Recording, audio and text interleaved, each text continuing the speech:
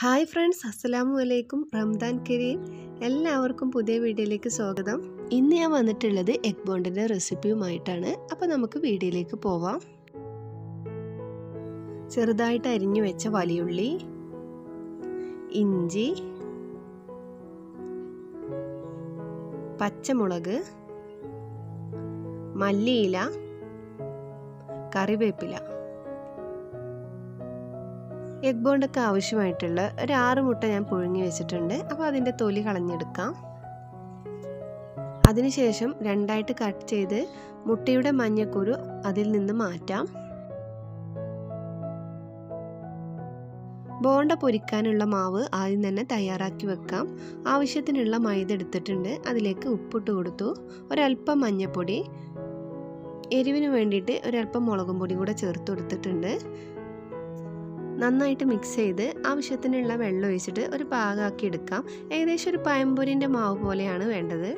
മാവ് റെഡി ആയിട്ട് വന്നിട്ടുണ്ട്. ഇനി അതിലേക്കുള്ള മസാല റെഡിയാക്കാം ചൂടായ പാനിലേക്ക് ഒരല്പം വെളിച്ചെണ്ണ ഒഴിച്ചു. അതിലേക്ക് വലിയുള്ളി ഇട്ട് കൊടുത്ത് ഒരല്പം ഉപ്പും ചേർത്തിട്ട് നന്നായിട്ട് തന്നെ വഴറ്റിയെടുക്കാം. അതിനുശേഷം ഇഞ്ചി പച്ചമുളക് കറിവേപ്പില എന്നിവ അതിന്റെ പച്ചമണം മാറുന്നത് വരെ വഴറ്റിയെടുക്കാം.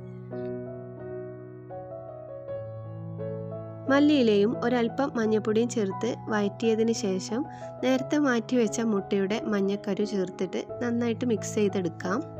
മസാല റെഡിയാക്കി മാറ്റി വെച്ചിട്ടുണ്ട്. ഇനി അതിലേക്കുള്ള ചമ്മന്തിയാണ് റെഡിയാക്കേണ്ടത്. ആവശ്യത്തിനുള്ള തേങ്ങ എടുത്തിട്ടുണ്ട്.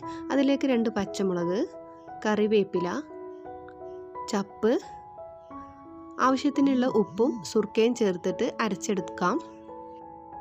കട്ട് ചെയ്ത് വെച്ച മുട്ട എടുത്ത് അതിന്റെ മഞ്ഞക്കരുവിന്റെ ഭാഗത്തേക്ക് നമ്മൾ മസാല വെച്ച് കൊടുത്ത് അതിന്റെ മുകളിലായിട്ട് ചമ്മന്തി വെച്ച് കൊടുക്കാം.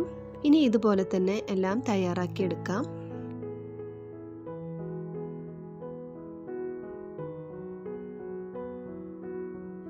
ഓരോന്നായി മാവിൽ മുക്കി ചൂടായ എണ്ണയിലേക്ക് ഇട്ട് കൊടുക്കാം.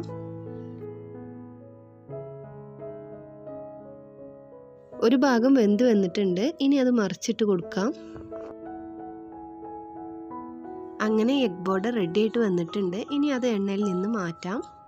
അപ്പോൾ ഇതാണ് എഗ് ബോണ്ടിന്റെ റെസിപ്പി അപ്പോൾ നിങ്ങൾക്ക് ഈ വീഡിയോസ് ഇഷ്ടമായാൽ ലൈക്ക് ചെയ്യാനും ഷെയർ ചെയ്യാനും കമന്റ് ചെയ്യാനൊന്നും മറക്കരുത്.